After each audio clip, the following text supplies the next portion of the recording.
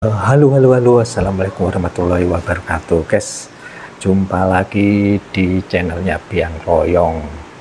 Oke, sebelumnya Biang Kloyong mengucapkan terima kasih atas pecinta setia channel ini ya, guys ya.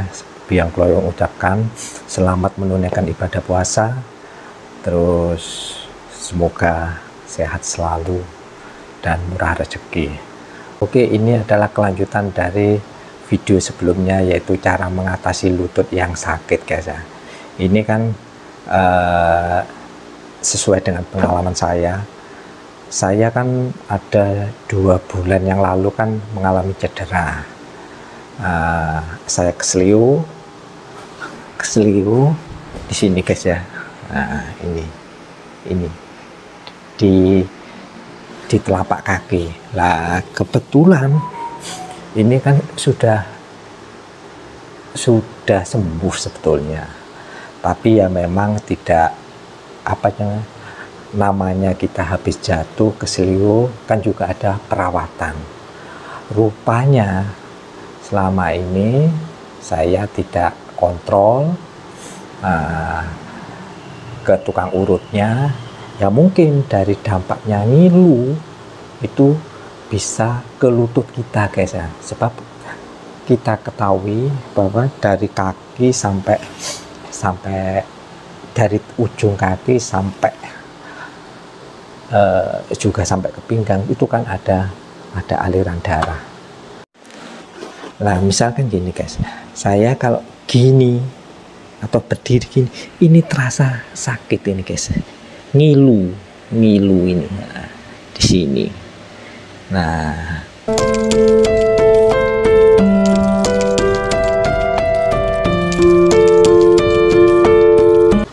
Oke, kemarin aku pijat yang ini di telapak kaki, bukan di telapaknya, di punggung kakinya ya guys ya. Itu ternyata ini lutut saya, alhamdulillah uh, tidak sakit lagi. Ya mungkin lutut ini ngilu penyebabnya yaitu bekas kaki yang keseliu. Nah, jadi memang kita harus kita harus apa? Harus harus rawat itu loh guys ya. Uh, supaya otot-ototnya bisa sempurna seperti sedia sedia kala. Pangkal panjang lebar biang koyong menggunakan minyak urut zaitun. Hmm. saya mulai mengurut hmm. ini guys ya nah, ini kita urut. Ini daerah sini guys. Sebab kan saya jatuhnya gini. Nah ini. Oh ya guys ya. Mungkin ada teman-teman yang tahu. Ini cara mengobatinya gimana ya ini ya? Ini saya sudah ke dokter kulit tetap aja ini. Ini kemarin saya ya tiap hari saya kasih minyak zaitun supaya lemas gitu loh guys ya. Nggak, sebetulnya tidak sakit ini. Nah, tapi mentol gitu loh guys ya. Oke ya. Ini. Hmm.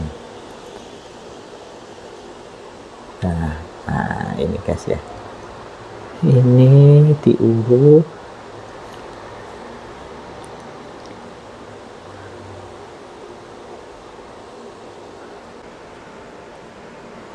nah kita pijat ini guys.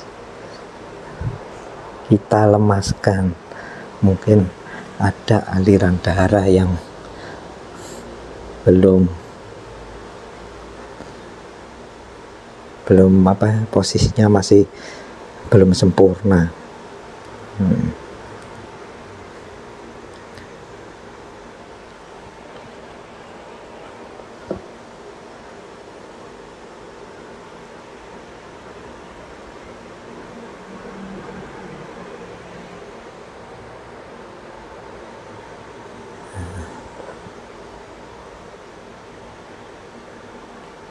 Ini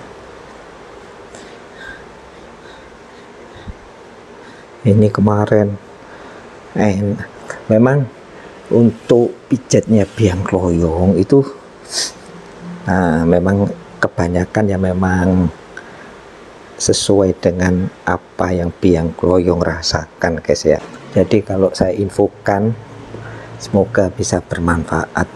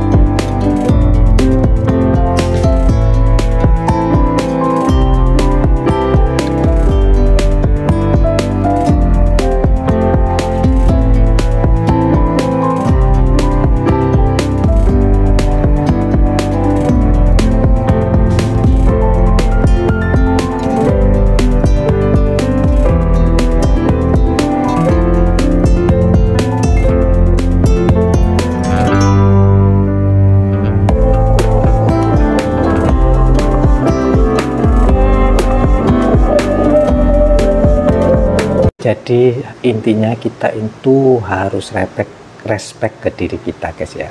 Jadi misalkan uh, kayak yang ini. Ngilu yang di di lutut. Itu ternyata bawaan dari sini guys. Dari punggung punggung kaki yang habis keselio itu loh guys ya. Jadi uh, sebetulnya kalau kita bisa memijat sendiri itu sangat bagus lah guys ya. Kita tidak bisa mengeluarkan biaya dan bisa kita kerjakan setiap saat. Nah, ini sudah mulai enak sudah mulai lemas jadi kalau buat sholat raweh juga enak.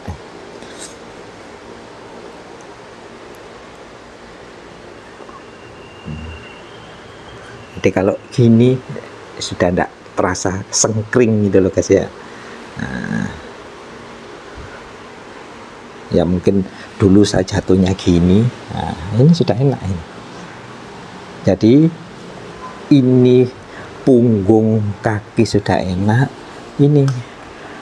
Lutut saya sudah tidak cenat-cenut lagi guys ya. Intinya simpel sekali. Yang penting kita harus uh, peka kepada setiap ada gejala yang sakit pada tubuh kita. Nah. Is Oke, sebetulnya cukup mudah sekali guys ya untuk mengobati sakit lutut yang ada pada diri kita. Jangan sampai sakit lutut itu dibiarkan begitu saja. Sampai uh, apa namanya sampai lama dan bisa membuat apa ya pengapuran pengapuran lutut. Jadi makin sulit untuk kita menekuk nanti ya. Dan ini tanpa obat loh guys ya tanpa obat saya cuma menggunakan minyak dan jari-jari saya ini guys ya dengan tangan saya. Oke gitu aja. Tolong bantu channel ini supaya bisa berkembang. Tolong uh, subscribe like dan like dan komen. Dan semoga video ini selalu bermanfaat untuk kita semua. Oke Assalamualaikum warahmatullahi wabarakatuh. Salam sehat